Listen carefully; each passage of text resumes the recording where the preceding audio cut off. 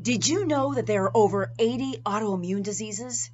And not only that, but they can literally affect almost any part of the body.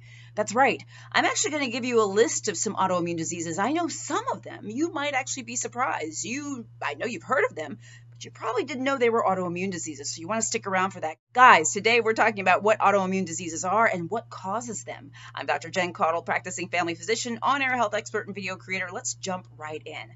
All right, so let's explain what an autoimmune disease is first. And this is super important. So you know the word autoimmune consists of auto and then immune let's focus on that immune word, okay? So our immune system, you guys know what it does. It attacks bad stuff. It keeps us healthy, right? It sees an invader and an intruder, a virus, a bacteria, a parasite, a something, and it goes after it and tries to gobble up and get rid of it to keep us safe, which is awesome. That's exactly what we want.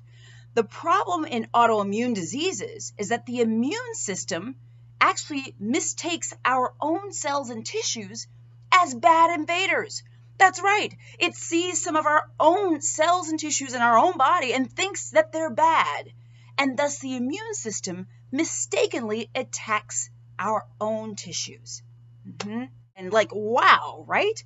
Okay, so this is the thing. That is what an autoimmune disease is, guys. It, it's when when your body attacks itself. So let me give you some examples of autoimmune diseases, right? Because I told you there's like over 80. Some of these I know you know about, but you probably didn't know they were autoimmune diseases, okay? Vitiligo, autoimmune disease. Systemic lupus erythematosus, autoimmune disease.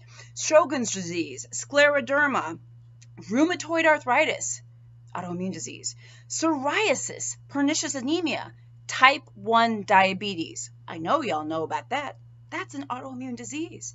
It's when the pancreas is sort of, you know, destroyed by the body. Okay. Alopecia areata. Yeah, that's an autoimmune disease. There's Graves' disease, uh, multiple sclerosis, you name it. There are a ton. This was just a small sampling. Remember, I told you there was over 80. So you know that's what we have to keep in mind. Oh oh and the, and the other one that i think is like probably one of the most common uh, autoimmune diseases i see as a family doctor is something called hashimoto's thyroiditis. It's one of the most common causes of hypothyroidism hashimoto's disease that's when um, your, your body attacks your own thyroid which leads to one of the most common causes of hypothyroidism or underactive thyroid guys, this is a big deal. That's why I'm talking about it, okay? So literally, as I mentioned before, um, you know, autoimmune diseases can attack and affect almost any part of your body. The thing about it is it causes inflammation. Oh, it causes a lot more than that, but inflammation is a hallmark of autoimmune diseases, right? So it causes inflammation in the area that it's affecting, whether it's the thyroid or the joints or the skin or the blah, blah, blah, uh, you name it.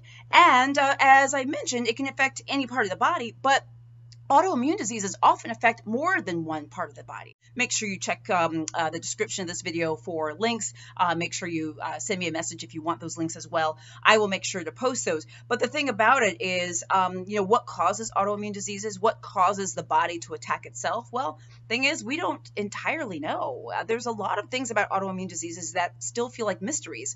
We think that genetics are involved, and I say that for a number of reasons. Genes we think are involved, but we also know that autoimmune diseases tend to run in families.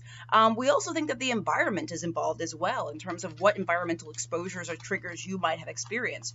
But a few other things to keep in mind is that women tend to be more affected by autoimmune diseases than men. And those people who have at least one autoimmune disease are uh, more likely to have another autoimmune disease than someone who does not have one.